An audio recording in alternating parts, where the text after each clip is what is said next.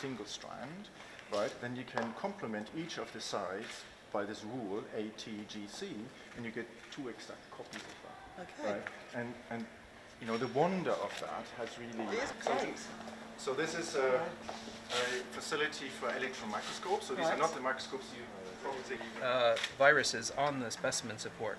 Right. And if I fold this down, you can actually have a look and see sort of very faint, So I hold it? faint images inside there. You know, I can see Just green. This sort of green with some, some sort of little, little spots black in there, spots, maybe. little yeah, spots, grey black spots. exactly.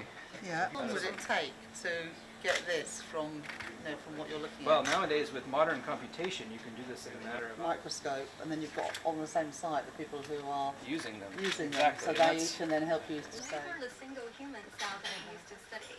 Wow. And you can genetically engineer these cells. So each of these 21,000 people working on this This whole campus, whole yeah. campus. Yeah, yeah. That's amazing. What are you? What are you doing? What's your? Uh, so I'm a postdoc. Uh-huh. Uh, so Oh, the, okay. Yeah. So so the so these that uh, we analyze is the microscopic images. Mm-hmm. Yeah.